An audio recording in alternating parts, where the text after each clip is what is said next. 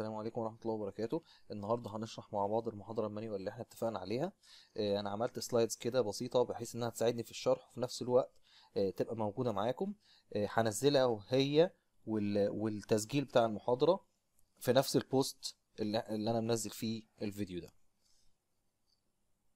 في ال introduction بتاعتنا النهارده لازم نعرف إيه هو هدفنا ك structure designer هذا هدفنا الأساسي إن إحنا نعمل منشأ يكون آمن واقتصادي وبيحقق غرض معين. يكون متوافق مع ال- الشكل أو التصميم المعماري يكون سهل إن هو يتبني وسهل إن هو يتعمل له صيانة. طب دي ده دي الأهداف بتاعتنا. طب هنحقق الأهداف دي إزاي؟ أو design procedure أول حاجة بال engineering judgment هختار ال statical system وال type to produce a structure satisfy client needs. يعني مثلا أنا هعمل كوبري لازم أعرف الكوبري ده الغرض منه إيه؟ هل هو كوبري آه، عربيات بس ولا railway كمان هيشيل يعني في قطر هيعدي عليه؟ آه، لازم مثلا لو أنا client عندي هيعمل برج سكني. لازم أعرف هو ال client ده عاوز البرج ده مثلا أوتيل فعاوزه بسرعة فممكن أعمل له proposal إن هو steel كده أنا اخترت ال type طيب لا أنا هو أهم حاجة عنده إن هو يوفر. خلاص يبقى أنا هختار له concrete مع إن ال concrete هت- هتاخد وقت أطول. في البنى طيب ال statical system بتاعي طب أنا هو عاوز البرج ده يغير في تقسيم ال interior design براحته. خلاص يبقى أنا كده مضطر اعمل له flat slab عشان يقدر اديله الحريه إن هو يغير بعد كده. لو أنا عندي أماكن الأعمدة بعيده عن بعض خلاص يبقى أنا كده هروح لل post tension عشان هيبقى أوفر. لازم أفكر دايما في اق- اقتصاديا okay؟ وأحط statical system يكون مظبوط. بعد كده تاني خطوة إن أنا بحدد ال loads اللي هتأثر على المنشأ بتاعي على حسب الغرض منه. إذا كان هو مثلا آه، هيبقى فيه مسرح هيبقى فيه مكتبة ال loads هتتغير. ال finishing نفسها لازم أخدها في الاعتبار معايا. أي loads هتأثر على على المنشأ بتاعي during its lifetime لازم أخدها إيه؟ into consideration. بعد كده الخطوة الثانية ببتدي أعمل structure analysis عشان أحدد ال straining action هو أنا ما أقدرش أبدأ تصميم على طول. لازم أجيب ال straining actions دي الأول ال straining actions دي هي اللي بتعمل لي ال stresses اللي أنا بصمم المادة بتاعتي على أساسها. وطبعا باخد في اعتبارات بقى معايا وأنا بعمل ال analysis ال material properties وال structure function وال geometrical modifications كل الاعتبارات دي باخدها معايا إيه؟ وأنا بعمل structure analysis بعد كده الخطوة الرابعة والأخيرة ال design بصمم كل عنصر عندي في المنشأ وبصمم ال joint connection وبصمم ال structure ككل. أي حاجة بتأثر على ال structure globally زي ال stability أو كده لازم أخدها إيه؟ في الاعتبار. دي الخطوات بتاعه ال design. آه، لو جينا نتكلم على أي منشأ أي منشأ في الدنيا آه، عشان يتعمل في حاجات يعني مراحل معينة هيمر بيها. إيه هي؟ ال initial planning إن أنا بحسب كل loads اللي هتيجي على المنشأ بتاعي بختار ال statical system وبعد كده ببتدي أعمل initial design بختار ال material وال type واعمل proposal drawings الأول بحيث إنها proposal drawings دي أعمل بيها coordination مع المعماري وأوريها لل client بتاعي. بعد كده بنبتدي ال final design أو ال detailed design بعمل بقى analysis final final بعمل calculation و drawings بحط specification للمنشأ أو المشروع بتاعي. تمام؟ بعد الكلام ده ده هدف أنا كراجل مثلا استشاري. بعد كده بيجي المقاول بيمضي contract ويبتدي في ال fabrication وال construction ويسلم المبنى بتاعه وبعد كده تبتدي مرحلة ال operation and maintenance ده أي منشأ عندي بيمر بالمراحل دي.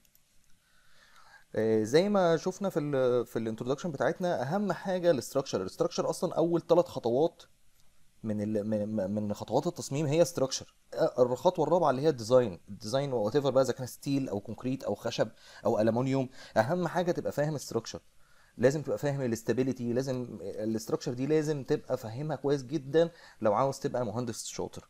لو أنا عندي أي structure ال structure هو عبارة عن إيه؟ هو بكل بساطة كده of connected parts used to support a load. يعني مش مهم يكون مبنى. لو حاجة بسيطة زي ترابيزة أو desk آه، آه، ليها أربع رجلين وعليها load معين يبقى ده structure وكمان stable لو أنا في رجل منهم اتكسرت كده بقى ال structure unstable لو أنا آه، شلت الرجل الثالثه وعملت لها shift كده بحيث إنها ما تبقاش في ال corner وبقت مثلا في النص فبقت كده stable تاني. يبقى أنا كده غيرت ال statical system وخليته إيه؟ على 3 supports بدل إيه؟ 4 supports عشان أدرسها وأفهمها كويس لازم أراجع عليها من أول structure أولى مدني اللي هو بتاع ال stability ال fundamental of structure of structure theory idealization بتشوف الممبرز الكونكشنز السبورتس اللودز اللودز عندك بأنواعها المختلفة إذا كان dead أو live ال live ده على حسب إذا كان building أو bridge ال wind load ال snow load ال earthquake ال soil pressure أي load عندك ممكن يأثر على على المنشأ. آه، بعد كده بشوف ال free body diagram بتاعه. بعمل mathematical model وأدرس ال equilibrium والاتزان بتاعه. آه، كل الكلام ده أنت لازم تخش فيه بالتفصيل بس مش دي ال topic بتاعتنا النهارده. آه، ال topic بتاعتنا هي ال design equations مش ال structure ال structure ممكن تتصنف تصنيفين أول حاجة تصنيف من ناحية ال determination تاني حاجة تصنيف من ناحية ال stability ال determination عندك determinate structure و indeterminate structure determinate structure اللي هو عدد المعادلات بيساوي عدد المجاهيل فأنت بتطبق ال equilibrium equation عشان تجيب ال straining action بكل سهولة. لو indeterminate وده اللي أنت بتقابله في أغلبية شغلك بعد كده في الكلية كنا بنستخدم slope deflection method و moment distribution method و3 moment equation عشان نحل structure لو هو indeterminate زمان كانوا بقى بيستخدموا ال finite element وطرق رياضية بحيث إن هم يح- يحلوا لو منشأ كبير. طبعا دلوقتي بقى في softwares أنت بتستخدمها بس لازم تبقى عارف إن إن, إن ال structure عشان تحل أي حاجة structure الموضوع كله مرتبط بالرياضة. إذا كانت finite element method أو boundary element method أو FDM كل ده رياضة. حتى ال finite element method دي ليها تطبيقات في ال fluid okay؟ ليها تطبيقات يعني بتوع الكهرباء بي بيستخدموها. هي طرق رياضية. WL square على 8 ده رياضة. اللي اللي وص- اللي وصلنا المعادلة دي رياضة وتكاملات و... فبس انت لازم تفهمها in general لو انت هتخش بقى في ال postgraduate study بقى وتعمل ماستر وكده لازم تبقى إيه؟ شاطر في الرياضة ولازم تدرس الرياضة. ال stability إذا كان المنشا عندنا stable أو unstable لازم أعرف أنا أتش... يعني أحقق ال stability بتاعه المنشأ وأبقى فاهم سلوك المنشأ بتاعي كويس جدا قبل التصميم. طيب خلاص أنا حددت ال statical system وحسبت ال loads وعملت structure analysis إيه ال results بتاعت الكلام ده كله بقى؟ ال results straining actions ال straining actions دي بتتصنف لحاجتين على حسب ال stress اللي هتأثر بيها على العنصر أو ال member بتاعي.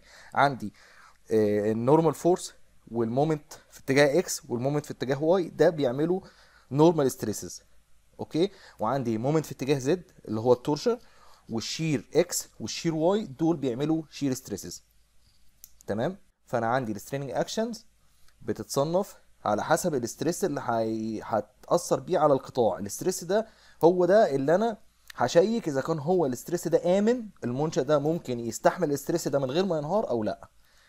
ال normal وال MX وال MY بتديني normal stresses وال وال moment MZ اللي هو ال torsion وال shear في اتجاه X وال shear في اتجاه Y بيدوني إيه؟ shear stresses طيب قبل ما نخش بقى في ال design بالتفصيل عندنا برضو عاو- عاوزين نعرف إيه العناصر اللي عندنا في في, في ال steel design عندنا tie rods أو bracings عندنا في beams سواء كانت simple أو fixed أو continuous عندنا columns وعندنا كمان ال beam column وهو ده اللي هنركز عليه في ال topic بتاعتنا النهارده. ال design philosophy عندنا في الكود المصري هم حاجتين allowable stress design ASD و load and resistance factor باختصار كده أنا بعد ما جبت ال straining action وربطتها بال section properties عشان أجيب ال stresses ال stresses دي بقارنها بال allowable stresses أو ال strength بتاعه القطاع. طيب هل أنا بقارنها على طول بال strength لا ده أنا بضرب ال strength ده في factor factor في safety زي ما اتكلمنا إحنا في حاجتين major هم اللي بن check عليهم في ال design بتاع ال steel ال check بتاع ال buckling وال check بتاع إيه؟ ال stresses.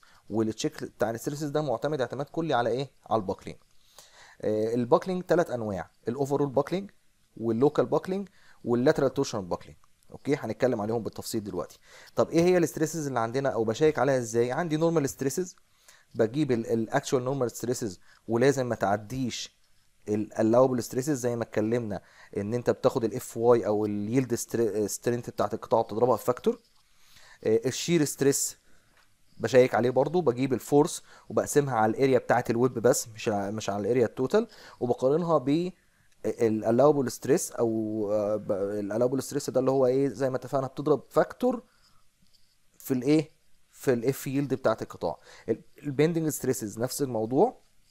بجيب ال straining action واجيب منها ال bending stresses اللي هي M of y على I واقارنها بال allowable bending stresses نفس الموضوع نفس ال concept انت عندك stress actual لازم ما يعديش allowable stress طب في إيه كمان؟ في combined stresses اللي هي آه، بجمع فيها ال normal stresses مع ال bending stresses في حالة ال beam column وكمان عندي ال fatigue stresses ودي بتقابلني في الكرينات أو أي حاجة أي member عليه أحمال متغيرة. تمام؟ هتقول لي في حاجات كل المنشآت عليها احمال متغيرة. ماشي بس الموضوع مرتبط بال number of cycles وبال maximum وال minimum straining action فدي بتقابلنا في الكرينات. في مثلا آه، قابلتني في ال truss gantries اللي هي بتبقى على الطرق اللي بتشيل ال signs دي لازم ت check على ال fatigue لأن ال wind load بيختلف تماما واتجاهاته بتتغير. و... ومثلا لو في حاجة عندي عند آه، في المينا آه، موج البحر بيخ- بيخبط فيها. فدي برضو حاجات يعني advanced شوية ومش في ال topic بتاعتنا النهارده. طيب أنا ه check على ال stresses دي بقى إزاي؟ ال allowable normal stress ده اللي هو إذا كان tension أو compression tension الحاجة الوحيدة اللي ملهاش أي علاقة بال buckling أو مش depend يعني related لل buckling اللي هو ال tension إيه؟ tension stresses ودي بقارنها على طول ب 0.58 ال F yield هو ده ال factor of safety عندي 0.58 ال F yield okay؟ آه وبعد كده بتيجي لل compression ال compression بقى ده معتمد على ال buckling آه وال slenderness بتاعت القطاع آه حسب بقى لو لامدا أقل من 100 بتقارن ب allowable stress معين لو لامدا أكبر من 100 بتقارن ب allowable stress معين. آه، آه، في ال shear stress نفس الكلام بالظبط ال- بتجيب ال actual وتقارنه بال allowable ال allowable ده اللي هو كام؟ 0.35 ال F yield okay؟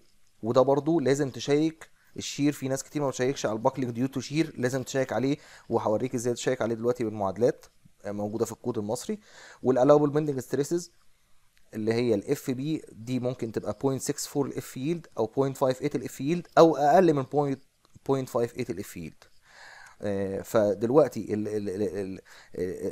ال stresses دي عاوزين نركز كويس جدا إن ال allowable normal compression وال shear وال bending كلهم related بيعتمدوا على ال overall buckling وال local buckling ال bending كمان بيعتمد على حاجة اسمها lateral torsion buckling يعني إيه بيعتمد؟ يعني أنت أصلا ما تقدرش ت check bending stresses يعني عندي actual stress هقارنه بال allowable stress أو ال stress المسموح بيه. طب ال stress المسموح دي كام؟ 0.64 أو 0.58 أو أقل. طب أنا هعرفهم إزاي؟ لازم أروح أ check على ال buckling فالاثنين relative ببعض وده هو اللي بيلخبط الناس. آه، في سؤالين عندي مهمين هنا. آه، ليه ال factors دي بتتغير؟ يعني ليه 0.58 وليه 0.35 في في في, ال shear وال tension؟ ليه لو ال thickness زاد عن 40 ال allowable ده بيقل؟ يعني ليه بقى؟ دي برضو حاجة عاوزكم إيه تفكروا فيها وهنجاوب عليها برضو. لازم عشان ابتدي اصمم وافهم ال stresses واقارن بقى ال actual stresses بال allowable stresses تجارب اتعملت عشان نفهم الخواص بتاعة ال steel. آه، جبنا عينة وأثرنا عليها ب force لقينا إن كل ما نزود ال force دي كل ما ال strain أو الاستطالة آه، بتزيد والعلاقة بتاعتهم بتفضل linear لغاية الإيه؟ لغاية ال F yield وده اللي هو Hooke's law إن ال stress بيتناسب طرديا مع ال strain. كل ما ازود ال stress ال strain بيزيد لغاية ال F yield عند مرحلة ال F yield إيه اللي بيحصل؟ بيحصل إن ال strain بيزيد حتى لو ال load ثابت. متخيل؟ يعني أنا لو عندي الح- الحاجة دي مأثر عليها بنفس ال load ال- strain هيزيد حتى من غير ما أزود ال load. خد بالك من النقطة دي. ال- والاستطاله هتزيد من غير ما أزود ال load. طب أنا أنا استفدت إيه من الموضوع ده؟ طلعت خواص معينة لل steel. إيه هي؟ ال E okay ال modulus of elasticity تمام؟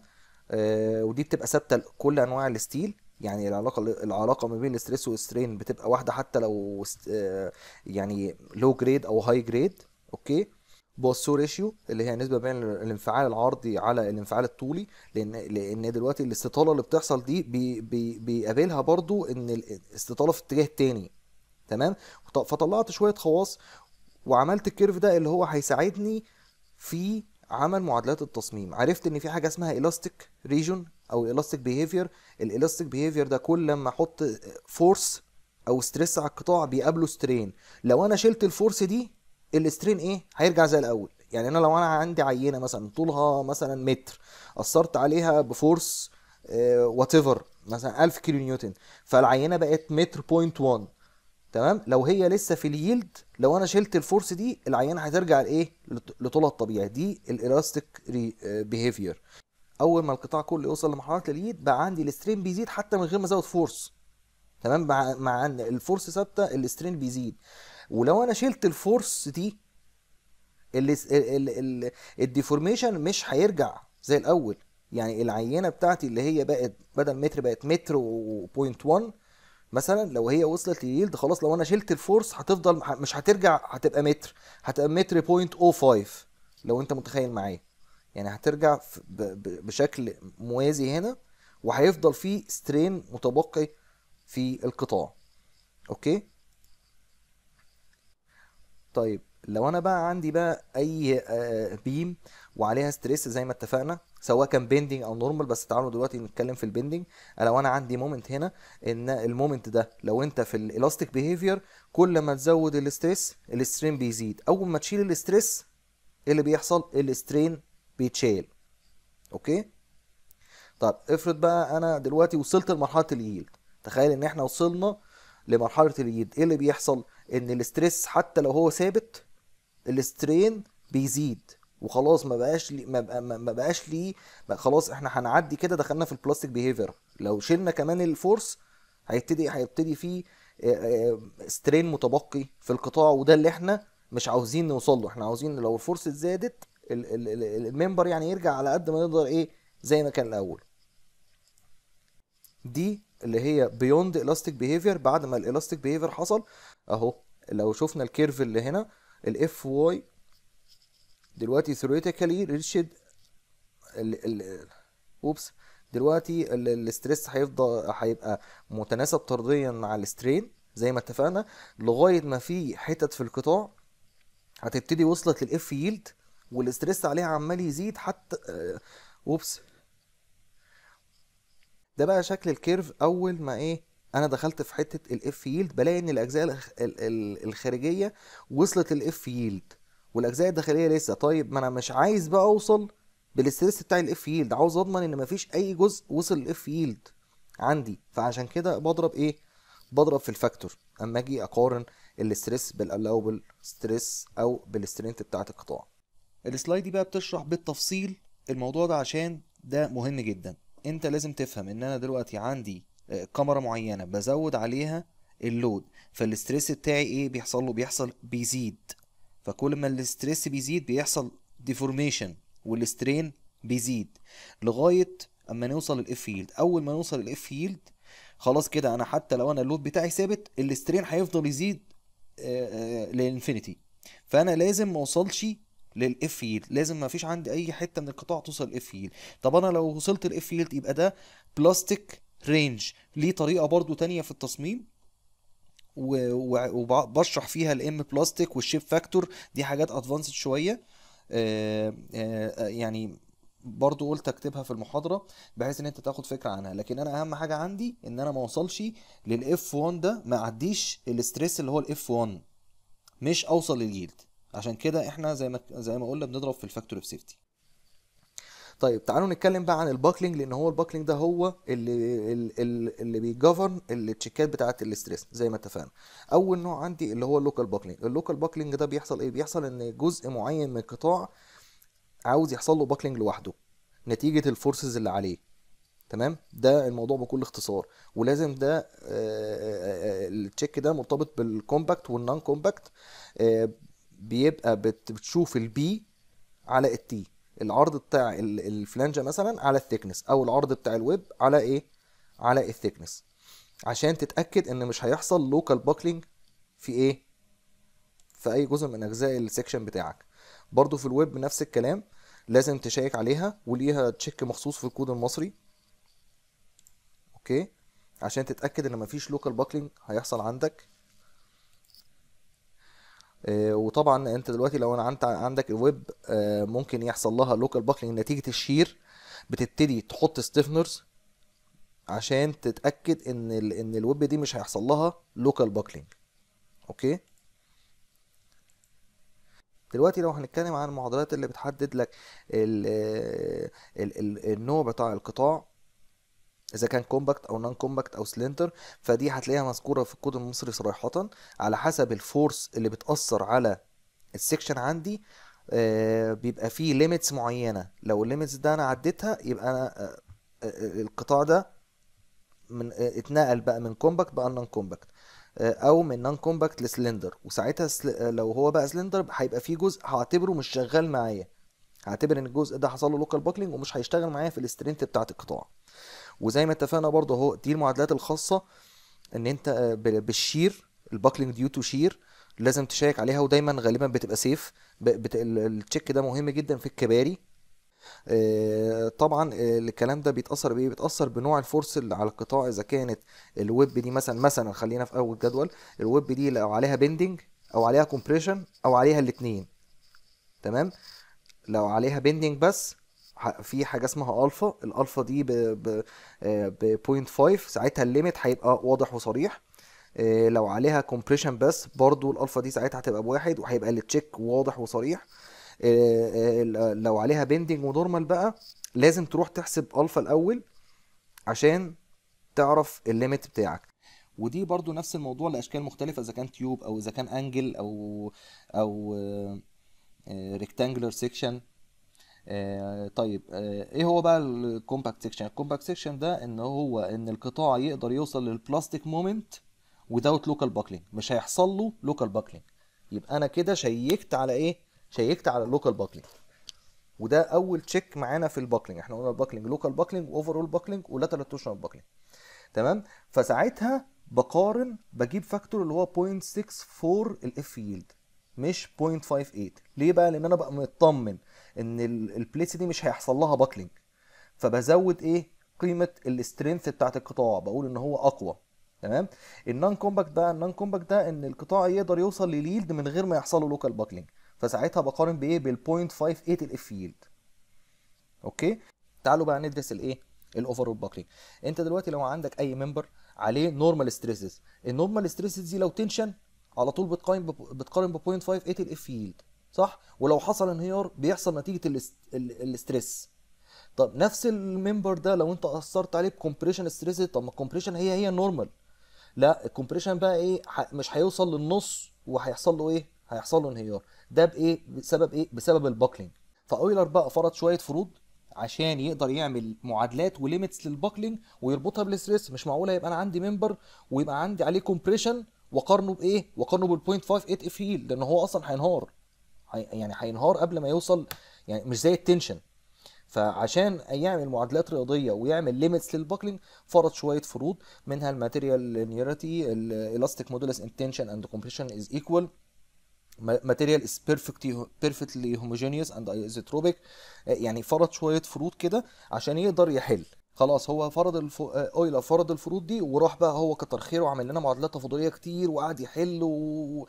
ويعمل تكاملات وإحنا مش عاوزين نخش في الرياضة. وصل لل Pcr ال Pcr ده لو وصلنا له the least disturbance would cause the column to bend sideway with an indefinitely large displacement. يعني ال Pcr ده اللي هو ال load اللي انت لو لو انت حطيته على العمود بعديها أي load هتأثر عليه هيحصل له deformation كبير جدا.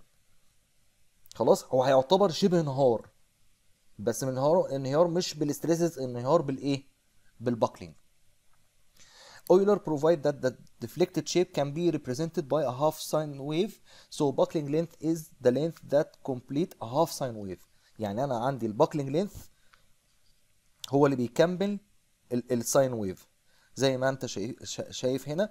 وده ال Pcr اللي هو pi square EI على 2 L square ده لو هو pin pin لكن القانون الجنرال اللي هو pi square في EI على KL square طيب برضو إيه علاقة الكلام ده بالمعادلات اللي شفناها في الأول؟ طيب خلاص يبقى إحنا عاوزك تركز في الحتة دي كويس جدا. ال Pcr ده لو وصلنا له أي حاجة هتحصل أي load زيادة هيخلي ال mem ال member ينهار whatever ال member ده وصل للإيه؟ لل yield ولا لأ. تمام؟ فاحنا عملنا إيه؟ عشان نسهل معادلات التصميم لو انت جيت هنا بصيت هتلاقي ال P cr هيساوي pi square في ال E I على K L square طيب أنا عاوز الكلام ده أقارنه ب stress أنا عاوز أعرف ال stress طيب بق- لو إحنا قسمنا الطرفين بقى على ال area عشان نقارن الكلام ده بال stress هتلاقي إن ال P على ال area هيساوي pi square في E I في واحد على ال area على K في L square طيب أنا عاوز أدخل ال I وال A جوه ال K واربطهم مع ال K وال L فلقيت إن في الآخر إن pi square في E على K في L على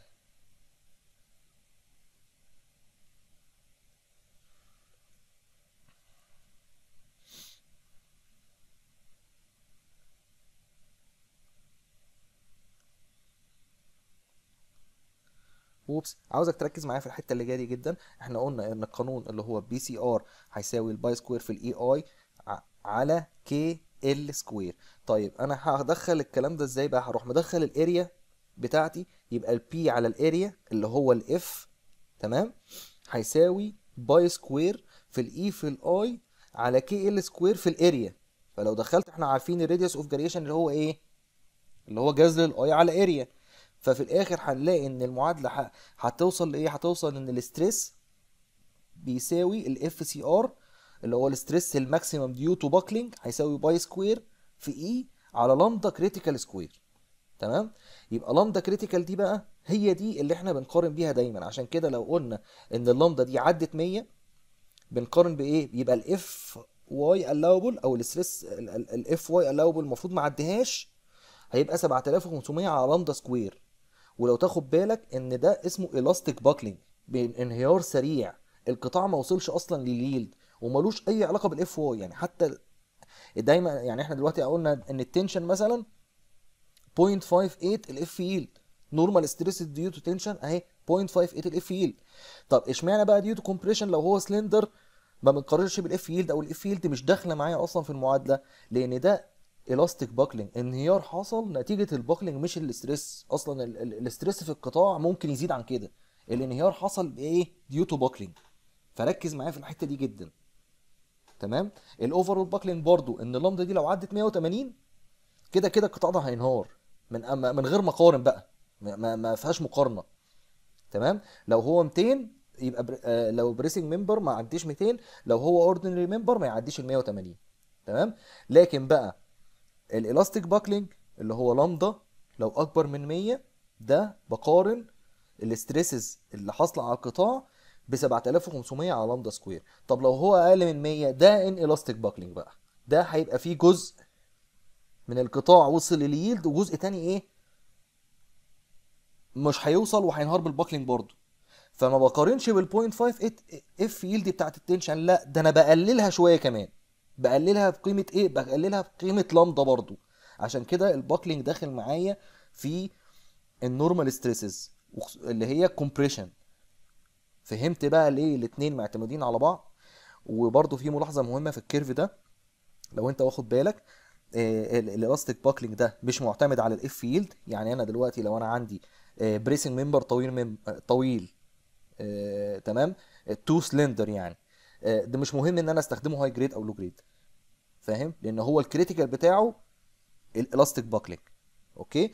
لو هو بقى مش طويل قوي آه ساعتها ال steel هيفرق. ال steel grade هيفرق لأن هي ال allowable stress هتبقى مرتبطة بالايه بال F yield تمام؟ ف وده curve بيو- بيوضح العلاقة بين K في L على r اللي هي لامدا والايه وال allowable stress due to buckling يا ريت الحتة دي تكون مفهومة كويس جدا وفهمنا ال overall buckling وتأثيره على إيه؟ على القطاع. في برضو موضوع آه، تاني برضو عاوزين نتكلم فيه دلوقتي اللي هو ال residual stresses ال residual stresses دي أصلا معناها إيه؟ دي إجهادات متبقية. إجهادات متبقية في القطاع من عملية ال fabrication أو عملية الصناعة. إن أنت لما تيجي تصب الحديد ده الحديد ما بيبردش كله مرة واحدة. الأجزاء الخارجية بتبرد الأول قبل الإيه؟ قبل الأجزاء الداخلية. فأنت كده كده لما تيجي تأثر على القطاع بأي force أو يجي عليه stress لازم تبقى عامل حسابك إن في جزء من القطاع أصلا عليه stress فأنت هتوصل ال F yield إيه؟ أسرع. يعني في أجزاء هتوصل لل F yield قبل أجزاء تانية. وعشان كده برضو آه أنا عاوزكم تشوفوا العلاقة هي زي ما ده السؤال اللي إحنا سألناه قبل كده. إن القطاع لو ال thickness بتاعه زاد ال allowable بيقل. ال allowable لأن بيبقى فيه إجهادات متبقيه أكتر. يعني لو ال thickness عندي بتاع ال plate 40 مللي بيبقى فيه اجهادات متبقية أكتر لو هو أقل من 40 مللي. فعشان كده ال 0.58 دي بتقل. نتيجة إيه؟ نتيجة إن أنا عارف إن في residual stresses أو اجهادات متبقيه في القطاع. طيب تاني هنراجع. عرفنا إن إحنا ال normal stresses دلوقتي لو هي tension آه، بتقارن بإيه؟ بتجيب ال actual normal stresses اللي هي ال force على ال area وتقارنها بإيه؟ بتقارنها بال allowable ال allowable في ال tension 0.58 ال F yield وال force على ال area أما تيجي تقسم على ال area خد بالك في ال tension بتقسم على ال area net لازم ت... ت... آه، يعني تنقص مسافات المسامير. لو انت مثلا عامل bolted connection لازم تنقص مسامير مسافات المسامير. okay؟ لو انت دلوقتي compression عرفنا إن اويلر حدد ال slenderness بتاعت القطاع. لو لامدا أكبر من 100 ال member هينهار بال buckling وساعتها هتقارن ب 7500 على lambda square لو لامدا أقل من أو تساوي 100 دي ساعتها إيه؟ ساعتها اسمه inelastic buckling وهتقارن بال 0.85 ال F yield بس هتنقصها شوية عشان كمان وجود ال residual stresses بعد كده طبعا في حد اسمه T.V. Galambos هو درس موضوع ال buckling باستفاضة أكتر ويعني شاف إن في كام فرضية مش م- مش مظبوطين في موضوع إيلر واشتغل عليهم ولقى إن ان ال force دي لما يحصل buckling في القطاع ولو بسيط بيحصل إن ال force تأثيرها بيتغير وال shear center مكانه أصلا بيتغير فزي ما بيحصل buckling في آه، في في اتجاه X أو اتجاه Y okay؟ بيحصل كمان twisting نتيجة إن ال force دي ما ما- إن مكان ال shear center اتحرك. تمام؟ وعمل معادلات رياضية كتير مش شرط نخش فيها بالتفصيل. بس أنا بشرح لك الفكرة نفسها جت منين تمام؟ آه، ف وده رسمة مبسطة بيوريك الأكسات اتغيرت إزاي وإن مكان كان مكان ال shear center بتاع القطاع أصلا اتغير فال force ما بقتش مأثرة في ال shear center. كل الكلام ده وصلنا إن إحنا ندرس ال buckling بشكل أكتر وعرفنا إن ال buckling ده إن القطاع ممكن يحصل له آه، يحصل له إيه؟ يحصل له buckling حوالين ال weak axis أو buckling حوالين ال strong axis أو torsion buckling يعني. ال normal force دي ممكن توصل القطاع لثلاث أنواع من ال buckling يا إلا يحصل له buckling حوالين ال weak axis يا إلا ال strong axis يا إلا يحصل له torsion أو twist okay؟ فدلوقتي لو أنا عندي برضو باختصار تاني لو أنا عندي member معرض ل axial force ومتثبت بالشكل ده نتيجة إن القوة بي بتأثر عليه بيحصل له buckling بيحصل buckling في الاتجاهين تمام؟ فبيتحرك حركة X وحركة Y تمام؟ ال- ال- الحركة دي اللي هي X دي ال principal axes دي بالنسبة لل principal axes ال U V دي displacement دي حركة ال shear center تمام؟ فال shear center بتاع القطاع أصلا اتغير وكمان في twisting حصل في زاوية يعني اتح- اتحرك بزاوية. فاستنتجنا من كده إيه بقى؟ إن ال axial force دي ما بتسببش حركة فقط لأ ده بتسبب دوران. آه، آه، فهو طبعا بالمعادلات بتاعته كلها وصل إن في زي ما اتفقنا آه، معادلتين بيعبروا عن ال bending ومعادلة بتعبر عن إيه؟ عن ال torsion. يبقى كده إحنا إيه؟ عملنا highlight على كل حاجة مهمة في ال overall buckling نيجي بقى لل lateral torsion buckling ال lateral torsion buckling هو نتيجة إيه؟ نتيجة إن في فلانجه من القطاع بيحصل لها torsion لوحدها. ده ال ال ال ال ال بيحصل لها buckling لوحدها ده التفسير البسيط. وده بيحصل ليه بقى؟ بيحصل لأن أنا عندي الجزء اللي تحت ال- ال- الفلانجة مثلا لو أنا عندي قطاع عليه moment الفلانجة اللي تحت عليها tension فال tension ده طبعا ماسكها مش عايزة يحصل لها buckling ولا حاجة لكن الفلانجة اللي فوق على عكسها عايزة يحصل لها buckling فلازم نفرق كويس جدا إن إحنا عندنا في torsion torsion buckling ده بي ده ن- آه، آه، صريح إن ال member ممكن يبقى free إن هو يحصل له torsion أو warping تمام؟ ده بنسميه pure torsion okay؟ وفي عندي ال non-uniform بقى ال non-uniform ده إن أنا القطاع عليه torsion زائد bending فعشان نفهم تاني ال- ال- حتة ال lateral torsion buckling دي كويس ده أهو torsion buckling صريح تمام؟ لكن ده torsion زائد إيه؟ زائد يعني twisting القطاع بيلف وفي نفس الوقت بيتحرك. يعني مش بيلف حوالين المحور بتاعه لا ده بيلف وفي نفس الوقت إيه؟ بيتحرك. distortion ده اسمه distortion لما يبقى عندي twisting زائد حركة بنسميه إيه؟ بنسميه distortion وده آه، برضو مشروح هنا بالتفصيل. لو أنت عندك uniform torsion لو أنا عندي كمرة بيحصل عليها torsion صريح أو آه، أو constant warping ده بيبقى ليها طريقة في الحل ولو عندك un-uniform torsion ده اللي هو بيبقى torsion زائد bending أنا في حاجة عندي ماسكة bending ماسك ال tension flange وعندي القطاع بيلف فبيحصل له twisting وحركة في نفس الوقت اللي هو ال distortion طيب هل أنا لازم أفهم المعادلات دي كلها؟ لا أنا بس بفهمك ال concept بتاع ال lateral torsion buckling الموضوع في التصميم أبسط من كده بكتير. الموضوع في التصميم إن أنت لازم ت control المسافة دي. طبعا أنت دلوقتي أنت فهمت يعني إيه torsion و lateral torsion buckling عرفت يعني إيه torsion أو distortion okay؟ اللي هو ال twisting و twisting plus deformation okay؟ فمش كل مرة أنا هخش في المعادلات دي لأ أنا في حاجة اسمها ال unsupported أو المسافة اللي مش مش حاصل لها lateral support على ال beam دي لازم أبقى عارفها كويس جدا ودي هي اللي بتأثر معايا فين بقى؟ في حساب ال allowable stress بتاع ال bending لو أنا عندي قطاع عليه bending فمحتمل جدا يحصل عليه lateral torsion buckling. فلو حصل عليه lateral torsion buckling بيقلل لي ال allowable stress اللي مسموح يحصل على القطاع. يعني من الآخر ال capacity بتاعته بتقل. يعني لو أنا عندي المسافة اللي unsupported دي بدل ما هي 2 خليتها 4 ممكن جدا إيه؟ ال capacity بتاعة القطاع تقل. خلاص؟ دي كل أشكال ال buckling عندي في local buckling وعندي ال web buckling وعندي ال lateral torsion buckling وعندي اللي هو إن ال section ممكن يحصل له overall buckling لكل أجزائه مع بعض. زي ما اتفقنا ال lateral torsion buckling دي أنا هعمل لها control تمام؟ هعمل لها control لو أنا مثلا عندي كمرة متسب... عامل لها lateral resistance كل 2 متر. فأنا هشوف ال 2 متر دي حاجة هنا أقارنها بإيه؟ أقارنها ب ال L unsupported دي. لو أنا ال L unsupported اللي هي بتساوي مثلا في ال I section 20 b flange على جذر ال Fy or ال or 1380 A flange على ال d في ال Fy في ال Cb لازم أقارنها. لو هي ال L unsupported دي أصغر من ال L unsupported maximum ال maximum دي اللي هي إيه؟ الاقل في دول. دي maximum اللي هي الاقل في دول. خلاص يبقى أنا كده في ال safe side مش هيحصل lateral torsion buckling. طب أنا لو عديت المسافة بتاعتي عدت المسافة دي آه يبقى أنا كده ساعتها هيحصل lateral torsion buckling ولازم أخش أقلل ال capacity بتاعت القطاع. طبعا أنا مش هخش معاك في التفاصيل بتاعة المعادلات دي. إحنا ممكن نحل example مع بعض هيكون أحسن. لازم تكون عارف ال factors اللي داخلة معاك في الحسابات اللي هي ال Cb المعادلة الجنرال بتاعته. تمام؟ وكمان الأشكال بتاع اللي هو ممكن تجيب منها ال Cb directly ودي دي حسابات إيه بقى؟ دي لو أنا عندي ال L unsupported دي أكبر من ال L unsupported maximum بخش هنا بقلل إيه؟ خد بالك أهو لو أنت شفت في أول معادلة بقلل ال allowable bending stresses يعني بدل ما هي 0.58 ال F لا ده هتقل.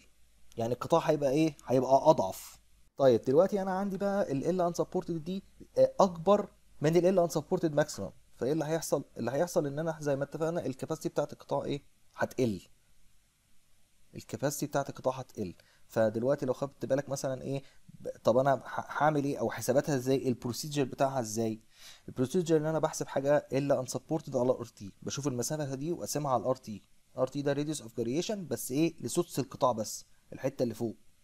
تمام؟ وعلى حسب قيمة ال L على ال rt دي بشوف ال allowable bending stresses اللي ممكن القطاع يستحملها.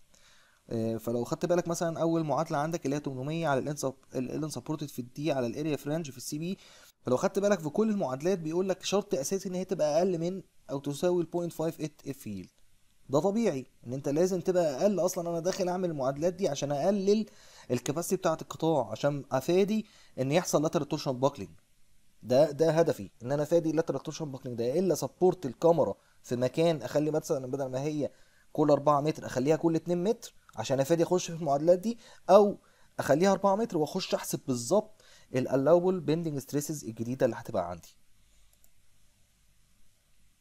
طيب نراجع مع بعض تاني كده من الأول ال check ات بتاعتنا بالترتيب. أول حاجة ب check بتعمل check على ال local buckling وبتشوف القطاع ده compact أو non compact أو slender okay؟ يبقى عندك معادلات معينة في الكود بتطبقها بتطبق ال width وال thickness بتاعت كل ال web ال width وال thickness بتاعت ال web وال flange ات. خلاص؟ بعد كده بتعمل check buckling ب check overall buckling باستخدام إيه؟ باستخدام Euler load وبتشوف إن هو ما يعديش ال 180 وبعد كده بتعمل بتعمل check برضو ال lateral torsion buckling بتشوف ال L unsupported maximum دي عندك بتحسبها تمام؟ لو ال actual أقل من ال L unsupported maximum مش هتحصل مش. مش هتعمل reduction في ال في ال allowable bending stress لكن لو أكبر هتعمل reduction لازم تروح تحسب F ال F LTB 1 و F LTB 2 خلاص؟ بعد كده بتعمل إيه؟ خلاص أنا خلصت ال buckling لازم ال... ال... أخلص ال buckling الأول. عشان أعمل إيه؟ عشان أعمل أ check على ال bending stresses اللي هو M في y على I معدل التصميم المعروفة بقارنها بال allowable اللي أنا إيه؟ معتمد على ال buckling وبعد كده ب check normal stresses اللي هو ال normal force على ال area وبقارنها بإيه؟ بقارنها بال allowable normal stresses اللي, اللي أنا جبتها ومعتمد على إيه؟ على ال overall buckling بعد كده بعمل check combined bending and normal دي ساعتها بقول إن النور ال actual normal stresses على ال allowable زائد ال actual bending على ال allowable bending في ال A 1 ال A 1 ده factor هتلاقيني كنت كاتبه في الأول وبرده لو عندي M y بحطها لازم الكلام ده كله ما يزيدش عن إيه؟ ما يزيدش عن واحد.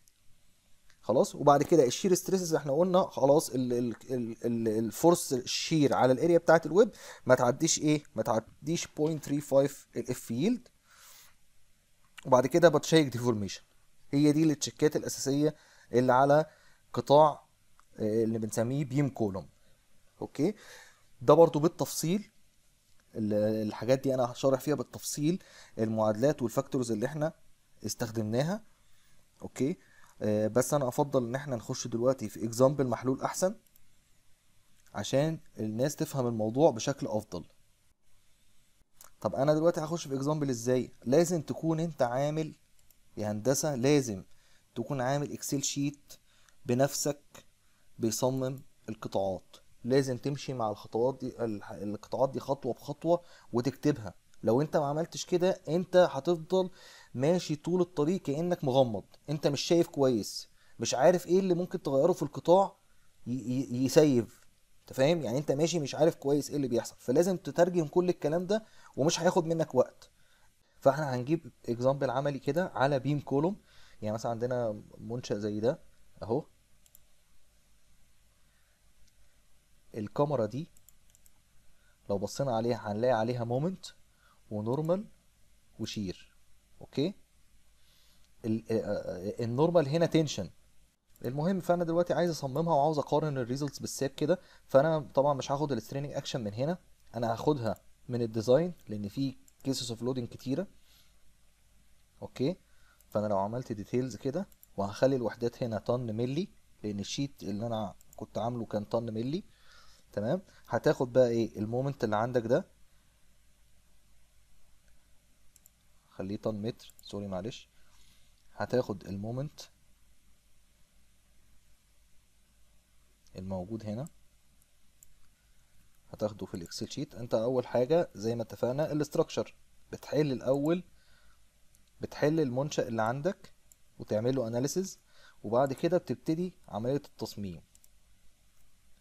خلاص دي ال M x وعندك M y وعندك ال normal point five وعندك ال shear اهو. وعندك torsion قليل خالص ممكن إيه, إيه نهمله أو أنا أصلا مش مش عامله في في, في ال sheet ده. ادي عندك قوة ال shear وعندك ال normal قول تقريبا بواحد. خلاص؟ طب القطاع ده كان low grade ولا high grade لا كان high grade فال F y بتاعته إيه؟ 3.6 طب ال C b بتاعته كام؟ ال C b بتاعته. فأنا عاوز أجيب إيه؟ ال C b إحنا قلنا يا إما بشكل ال moment يا إما بال M 1 وال M 2 فهو تقريبا دي هتبقى fixed fixed لو أنت شفت شكل ال moment فهيبقى ال C b ب 1.3 طيب يبقى أنا كده حطيت الايه ال straining action طيب دلوقتي أنا بعد ما دخلت ال straining action بتاعة القطاع عاوز أدخل ال buckling length والال unsupported أنت لو جيت بصيت لشكل ال moment هنا هتلاقي هتلاقي عندك إن ال compression flange هنا تبقى تحت في الحتة دي والحتة دي بتبقى معرضة ل tension والحتة دي بتبقى إيه؟ معرضة لل compression ده أنا بتكلم على ال lower flange ال upper flange كده كده إيه؟ supported عليها ال hollow core أو وات أو عليها ال steel deck مثلا. في ال case بتاعتنا هنا في جزء من القطاع ده اللي هو ده كده ده ال ال flange ه اللي تحت فيها عليها compression ومش ممسوكة. اللي هو 1.39 قول 1.4 يعني إيه؟ 140 140 خلاص؟ دلوقتي أنا حطيت ال unsupported وحطيت ال Q عاوزين نبتدي إيه؟ وحطيت ال section 500 في 6 و175 في 10 و175 في 10 عاوزين نبتدي نراجع على الكلام اللي إحنا قلناه. أول حاجة ال check buckling ال check buckling ده معتمد على إيه؟ على ال radius of gyration هتلاقي إن أنت بتاخد ال في اتجاه x تقسمها على على ال r x وال L buckling y على ال r y وطبعا ال y بيبقى دايما أضعف فهو ال govern فمن هنا بحدد إيه؟ بحدد ال allowable normal stresses لو هو عليه طبعا إيه؟ لو هو عليه compression لو هو عليه tension خلاص. تمام؟ بس أنا هفترض هنفترض إن الكمرة دي عليها compression عشان يبقى الموضوع إيه؟ راجعت حتة ال combined stresses دي كويس. تمام؟ ال shear ال shear زي ما إحنا اتفقنا. 0.35 ال F yield لو انت ضربت. 0.35 في ال F yield اللي عندك هتطلع إيه؟ 0.84 تمام؟ بعد كده وطبعا هنا بت check على الايه؟ على ال buckling بتاع ال shear. خد بالك ال buckling بتاع ال shear ده مهم برضو. أنا يعني إيه كاتبه لك هنا في في ال Excel sheet وكاتب لك معادلاته بالتفصيل. طب ال bending بقى ال bending ده زي ما اتفقنا بتش... بتشوف القطاع إذا كان compact أو non-compact وبعد كده بتشوف ال unsupported maximum يعني دي المسافة اللي بعديها هيحصل lateral torsion buckling للقطاع. فلقينا ال unsupported maximum دي المعادلات بتاعتها لا ده انت ال unsupported اللي عندك أقل من ال unsupported maximum فخلاص أنا هاخد ال allowable bending stresses اللي هي 0.58 ال F yield أو 0.64 لو كنا بالقطاع compact بس القطاع عندي هنا إيه؟ non-compact فساعتها هشيك على ال bending stresses هشوف هلاقي إن الاكشوال الاكشوال المومنت الاكشوال على M في Y على I أو M على S X لازم تبقى إيه؟ أقل من الايه من ال allowable لو هي أقل من الأول يبقى الموضوع ده إيه؟ يبقى safe okay؟ لو وده برضو في حالة لو إيه؟ لو M Y هنا ال M Y ضعيف بس برضو safe عندك؟ عندك ال normal stresses اللي هي ال actual normal force على ال area هتلاقي إن هي safe هقارنها بال allowable bending stresses طبعا ال normal هنا ضعيف جدا بالنسبة للقطاع. خلاص يبقى أنا كده check ت إيه؟ bending و normal. وطبعا ال check shear سهل. هشوف ال shear اللي حصل على القطاع على ال area بتاعه الويب واقارنها بال allowable shear اللي أنا طلعته لقيته safe لو جيت عملت check combined stresses هتلاقي إن ال actual normal stresses على ال allowable زائد ال actual bending stresses على ال allowable زائد ال actual bending stresses على ال allowable في اتجاه ال Y الكلام ده كله إيه؟ لازم يقل من واحد. الاي دي الاي دي factors برضو كاتب لك هي جاية منين بس غالبا بتبقى واحد. لازم تبقى برضو واخدها معاك في الاعتبار. طيب تمام. آه ال check fatigue برضو ده يعني أنا قلت لكم إن هو مش مهم لأن ال number of cycles هنا بيبقى قليل. وبت check على ال deflection ال torsion قليل. وبت check حاجة اسمها crippling مش ال topic بتاعتنا دلوقتي. crippling دي لو الكمرة عليها force كبيرة بتت check في ال crane ات برضو.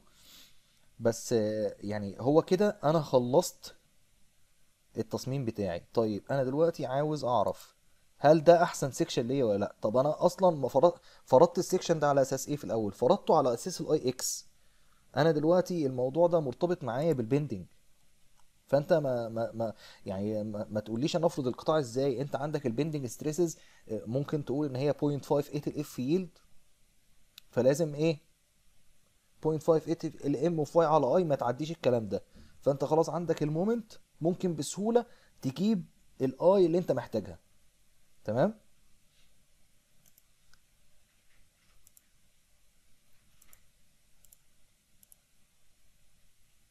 فزي ما اتفقنا بسهولة انت ممكن تتوقع القطاع. الاي دي اللي هي إيه؟ الموازي في العمودي تكعيب على 12 فانت بسهولة ممكن تعرف الموازي اللي هو ال B flange أو العمودي تكعيب. يبقى العمودي هو الايه؟ ال effective أكتر. تحسب ال I X بطريقة تقريبية وتعرف منها إيه؟ القطاع اللي انت عاوزه. هتلاقي ان ال design الاتنين قريبين جدا من بعض بس هتلاقي ال American code safe أكتر شوية تمام؟ ده اللي هو ال AISC 2005 لو 89 هتلاقي الناتج تقريبا واحد. عاوزين ندرس بقى شوية حاجات هنا هنا في ال في ال section بتاعنا. أنا دلوقتي أما لو دلوقتي لو أنا عندي ال supported دي عدت ال compression flange اللي ممكن يحصل لها lateral torsion buckling عدت ال supported maximum إيه اللي هيحصل؟ هيحصل إن أنا عندي الكومبا لو لو ما عدتهاش بمسافة كبيرة هي 174 دي 240 ال ال ال ال ال section ال bending stresses بتاعتي مش هتقل قوي غير لو هي مثلا عدت بقت 500 مثلا. أهو بص أثرت جدا على ال capacity بتاعت القطاع بقى ال allowable bending stress اللي ممكن القطاع يتحمله أقل فبقت الكمرة إيه؟ فبقت الكمرة unsafe دي رجعها تاني زي ما هي. طيب لو أنا عندي دلوقتي مثلا عاوز أقلل القطاع ده شوية فالقطاع ده عليه أصلا mainly moment طب ما أنا أحاول أقل أزود ال I X أخلي دي 600 مثلا. فالقطاع إيه؟ هي safe أكتر. بس ال area بتاعته 71 وال area بتاعت ده 65 فده over طب خلي مثلا 175 دي في 8 ودي في 8 كده ال area كام هنا؟ 64 أقل أقل آه بحاجة بسيطة. بس أقل. خد بالك بقى إن هنا إن القطاع ده القطاع الجديد ده ال area بتاعته أقل لكن أوفر. يعني أحسن. يعني ده ال ratio هنا 0.93 ال ratio هنا 0.89 فده اللي أنا بقوله لك إن أنت لازم تجرب آه، تعمل Excel sheet بنفسك عشان تعرف إيه اللي أنت ممكن تغيره في القطاع يـ safe. طيب في حاجة تانية أنا عايز أقولها لكم. لو أنا عندي ال normal هنا كبير 10 مثلا هتلاقي ال normal هنا force كبيرة. طب أنا ال normal عندي كبيرة جدا. آه، ال bending معقول. ال normal هي اللي فيها مشكلة. طب خلاص ما دام ال normal اللي فيها مشكلة يبقى مرتبطة بال buckling أنا عاوز أقلل ال 197 دي. تمام؟ هعمل إيه بقى؟ هروح مكبر ال flangeات بتاعتي. 200 ودي 200 أكبر العرض بتاعها. هتلاقي ال ratio دي قلت. لو كبرت برضو ال thickness بتاعها هتقل أكتر. هتبقى safe 0.99 يا دوبك safe فال Excel sheet والمعادلات دي مهم جدا إن أنت تعملها بنفسك عشان تعرف إيه اللي بيأثر على القطاع وإيه وإزاي تـ safe القطاع وتستخدم حاجات economic يعني الناس ما تبقاش عارفة إذا كان ال- ال flangeة دي مظبوطة ولا لأ ال depth ده مظبوط ولا لأ. وهنا كمان برضو خد بالك إن ال Excel sheet ده ما بياخدش في الاعتبار لو لو ال section slender ده عملته في sheet تاني بس أنا ال slender دي مش في ال topic بتاعتنا. إحنا كان كل همنا النهارده إن إحنا نعرف المعادلات بتاعة الكود وده اللي إحنا عملناه. تعالوا برضو أنا عاوز أراجع مراجعة سريعة عليه. أهو هو ال design كله ال ال الحاجات دي. overall buckling و local buckling و lateral torsion buckling ال stresses زي ما اتفقنا. تشوف ال normal stresses اللي عندك وتقارنها بال allowable وال shear stresses ال actual وتقارنها بال allowable وال bending بتقارنها بال allowable ال allowable stresses دي بتحسبها إزاي؟ زي ما اتفقنا إن هي مرتبطة بال buckling بس مبدئيا اللي هي 0.58 ال F yield لو compression أكبر من 100 اللي هو الاستيك behavior هيحصل انهيار سريع نتيجة ال buckling لو أقل من 100 هيبقى inelastic ده بتقارن بيخش معاك ال F yield ال shear 0.35 ال F yield ال bending 0.64 أو 0.58 على حسب إذا كان compact أو non compact ولو عندك ال lateral torsion buckling هيحصل ال capacity بتاعت القطاع إيه؟ هتقل هتقللها تاني. بس كده وكده يبقى إحنا خلصنا المحاضرة بتاعتنا. يا رب تكونوا كلكم استفدتوا. ل- لو في أي كومنتات يا ريت آه، تقولوها لي. وأشوفكم المحاضرة الجاية بقى إن شاء الله. السلام عليكم.